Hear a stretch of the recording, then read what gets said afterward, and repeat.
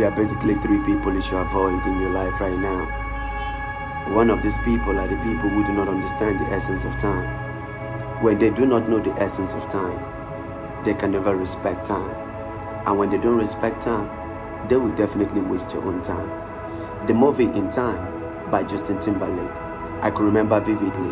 The man wrote on the glass, Do not waste my time. Because time is one paramount tool for you being successful. All the time, a lot of people want to waste your time. All the time, you've been around with people who do not understand the essence of time. All the time, you sit your life building yourself with people who don't understand the component of time. As long as they don't understand the component of time, they're always going to waste your time. Listen up. When the rich speaks about their time, in the ears of the poor, it looks like they're speaking in tongues. They ain't speaking no shit. They're speaking a direct English. Do not waste my time. Don't waste people time. And when you find people in your life who are about being time wasters, let them be. Don't keep them no more in your life because you live by the essence of time. For everything you do, you do by the rules of time. You have a little but short time to live in this world too. Do not forget that as much as we live for a hundred years, we still live under the essence of time. And the second component is this. If you want to be free in your life, stay away from people who love sleep.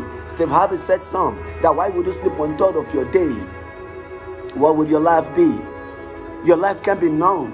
Why would you sleep one third of your day? You want to sleep eight hours. You love sleep so much. You tell yourself because I got known to do. That's the more reason why I need to sleep. Who says that you need to sleep because you ain't got a job? Who says that you need to sleep because you don't have chores to do? Who said that you you need to sleep because you had, you don't have classes to do? You need to stay away from people who sleep. Just as I will put it as a practical example for you guys right now to understand. I want to compare these two people. I want to compare a banker and then a businessman. Listen up. A banker set out of his house around 6 a.m. in the morning just to be in the bank premises and only to leave at 5 p.m. Do you know why? When he gets back home, he just want to like take his sup and then take a nap or probably sleep because he knows he has another 5 a.m. or 6 a.m. in the next morning to catch up with the bank. He loves sleep. He can never joke with his sleep because he has to sleep to be better. But then, when you talk about a man who owns a business, he never want to sleep because he understands the fact that he is not on the 30-day payroll. He understood the fact that he is on the millisecond payroll. Because for him being a businessman, anybody at any time can call him. He needs to be up. So what I'm trying to tell you is this. For those people who love sleep, they don't understand the essence of opportunity. They don't understand what opportunity it feels like. They only understand the dictionary part, part of the opportunity. But they don't understand the true interpretation of opportunity. If you love sleep, or so many opportunities are going to pass beside you. So many of them are going to pass before you. And so many of them are going to pass behind you because you are sleeping.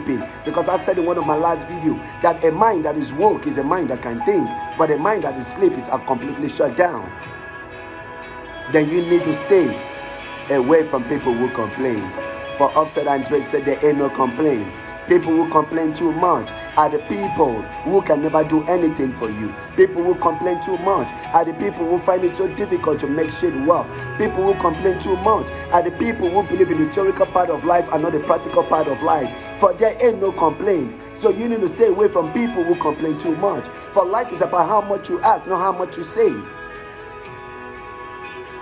And the truth is, whenever the poor cries, they want you to hear the fact that they are crying. They want you to understand that they are crying. They want you to feel their pain. That's why wise man brother the quote. He said even the rich also cry. Because there's no room for complaint. For you have to swallow your pain. You have to feel your pain. You have to feel it inside of you. For you have to make your life a part of a game.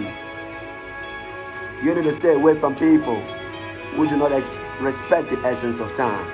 You need to stay away from people who value sleep too much. And then you really need to stay away from people who love to complain, who give too much energy in complaining.